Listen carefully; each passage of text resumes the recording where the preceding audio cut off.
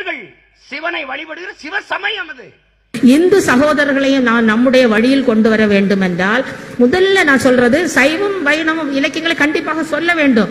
நாம் சைவர்கள் சிவனை வழிபடுகிற சிவ சமயம் அது. முதலாவது திருக்குறளை சொல்லுங்கள் அவர்கள் ஏற்றுக்கொள்வார்கள். தமிழர்கள் பின்பற்றி இருக்க வேண்டிய மறை வேதமே திருக்குறள் தான். அதன் பின்னர் கிறிஸ்தவத்தின் ஏன்னா அந்த கால அடிப்படையில் பார்த்தாலும் முதல் நூற்றாண்டில் தோன்றியது திருக்குறள்.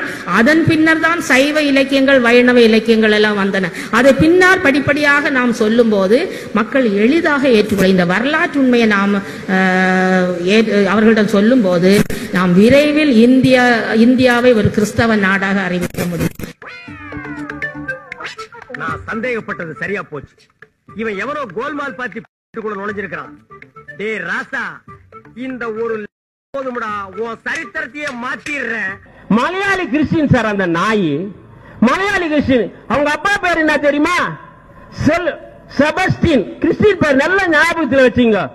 ஜெபஸ்டின் தான் அவங்க அப்பா பேர். இவன் இந்த நாய் பேர் என்ன தெரியுமா? இவன் சீமா நான் சீமா. இவன் என்னடா மயிறு சீமா? இந்த சீமா பேர் என்ன தெரியுமா? சைமன் அருளானந்தம் அவன் பேரு.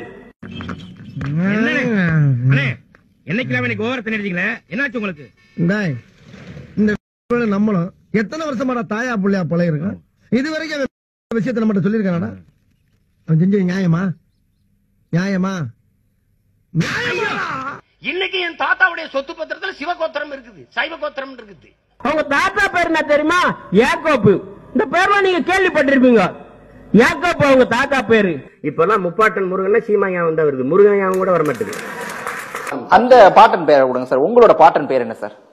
எந்த பாட்டேன்? உங்களோட உங்களுக்கு ஒரு பாட்டன் இருப்பாருல்ல உங்க அப்பாவோட அப்பா அவர் பேர்லாம் என்ன சார்? எங்க அப்பாவோட அப்பா பேரு யாகப்பர். யாக்கோப்பு யாக